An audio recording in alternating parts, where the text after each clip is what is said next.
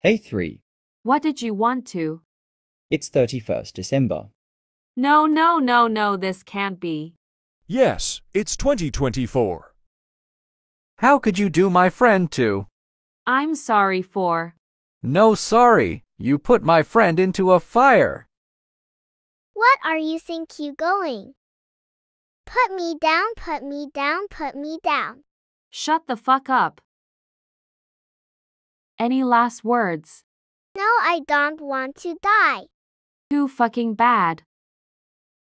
Now, you will pay. Now move. Nope. Ah! Wait, no, I don't wanna die. He take him revenge. Happy New Year!